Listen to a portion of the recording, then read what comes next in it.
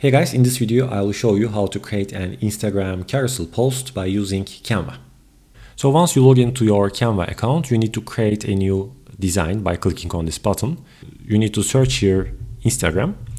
And as you can see, Canva gives us here different Instagram options with the correct dimensions, okay? So you need to choose here, let's say, the square version of an Instagram post. And now it creates us an empty template with the correct width and height. So here you can easily start creating your designs, but if you need some ideas, then you can use the Canva template library. Let's write here Instagram post and search it. And here, as you see, Canva gives us here many different template options that you can use. Most of them are free, but there are also pro versions that you need to pay if you want to use them. All right, so let's choose, for example, the first one. And now it has created us an example uh, Instagram post template. Here below, you can write your Instagram profile name, for example, and here whatever you want to write as a quote. By clicking uh, on this box here, you can change the background color to a different one if you want. And if you click on this text here, then you can change the font family from here. You can change the size from here and you can change the text color uh, from here if you wish. And once you finish designing your first post, then you can move to the second one easily by clicking on uh, this button here. What it does is that it will duplicate the page for you and you can design your second and your other posts like this easily. So this was an example that I created before for my Instagram account.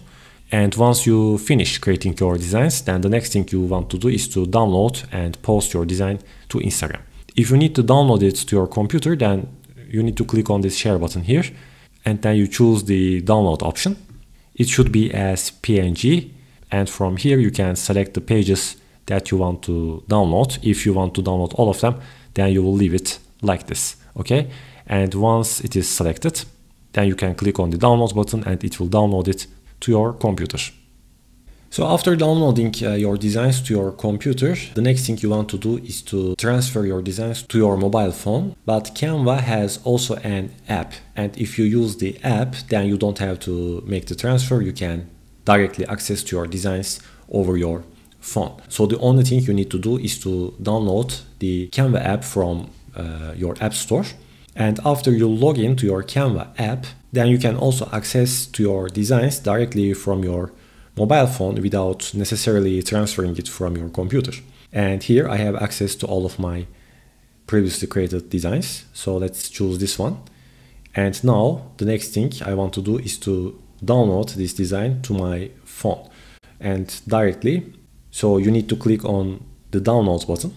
And as you can see now it says it is saved to the camera roll. So now there's one final step you need to do, which is to upload your designs as an Instagram carousel post to Instagram. And I will show you how to do that in the next video.